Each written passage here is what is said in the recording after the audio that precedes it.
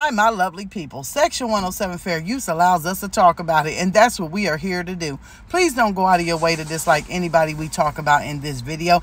It is for entertainment and reaction purposes only. It is my opinion and my opinion only. So, Peach had the internet rocking this weekend. So, baby, let's talk about it, all right? It was just a rocking from a post she made in her community post, which today she's turned into a short so that she can make more money off of it. So, come on, guys, let's talk about it, okay? So she's at Publix, Target, Sam's Club, whatever it may be. I think she said Publix, okay?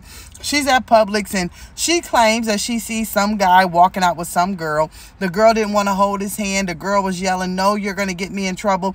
And she says that it was, you know, a situation that made her feel uneasy. It just hurt her heart. It just made her feel like something was not right. It was not right enough for her to take a video of it, make a screenshot of it, and post it, right? That's how wrong it was in her heart of hearts, you know, down in her soul. That's how bad it was. But it wasn't bad enough for her to stop and say something, right? Now, before we get too deep in, I just want to say something. A few years back, my son is 17 now. He was probably about six or seven, a neighborhood park that we always go to it was a little girl that I've seen there play all the time, right? It was this day, just happened to be some guy there with her, and he was telling her, come on, and she was screaming no. And I had never seen the guy there with her. I've always seen her with her mother what do I do? I say something to him. And I don't say it rude. I just say, hey, is everything okay? You know, I've seen her here playing, you know, hi, my name is such and such. How are your day? You know, yada, yada. Nothing too bad. When I tell you he cussed me out for filth, y'all, he cussed me out for filth. He let me know that black men were fathers and they do spend time with their children. He called me a few names and I just sat there and I took it because, yes, I did get in his business. Long story short, a few days later, I go to the park. I see the mother sitting there. She kind of has an attitude, but not so much. But she does come come to me and say, well, you know, her father told me what happened and I don't know how to feel about it, but that is her father. And I simply said uh, two things to her. He had every right to defend himself, okay? That's number one.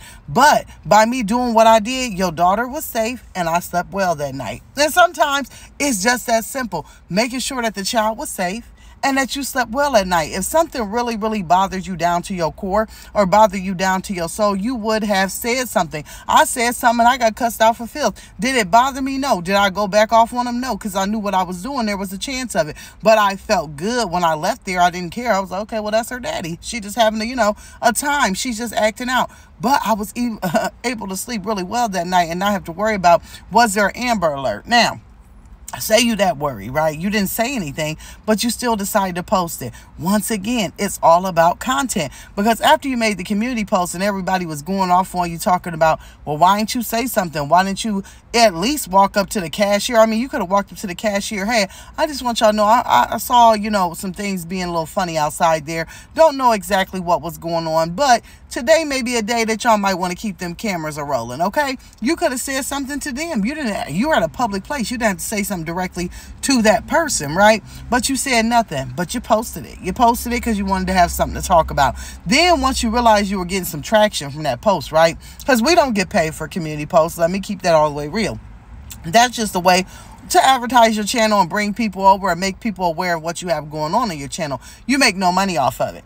But once she's seen the comments, once she's seen how people were interested, then this morning she turns it into a short.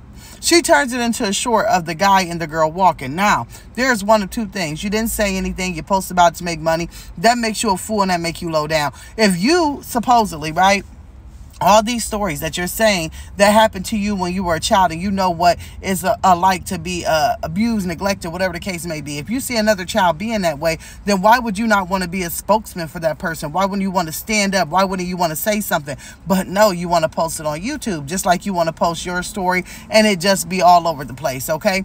Also say for instance now we got to play it both ways. Say for instance it's a lie right Say, for instance, something she just wanted for content. And now you have this man and this little girl out here on the internet and they're being accused of all different kinds of things. And I'm hoping that if that's the case or whichever case it is, that the parent of this child happens to just look at this hot mess and get on your tail for it. Either way that it go is sloppy. If it was something that you felt that it was just bothering you inside and you didn't say anything, like I tell everybody, Sometimes we record things for our safety. Sometimes we record things we can't believe. Sometimes we report things just because it's for record. But that don't mean it's always got to be posted. It could be saved in your phone. You could put it in a file. You could do whatever. And if the time comes that you need it, then you can retrieve it. It doesn't always have to be posted, published, or, you know, shown. But that's the way that Peach does it. I wanted to get out here because everybody's been, you know, talking about it and coming through the comments. So I wanted to let y'all know what I thought of it. I think it's total foolery. And that's just that. I will see you guys in the comments.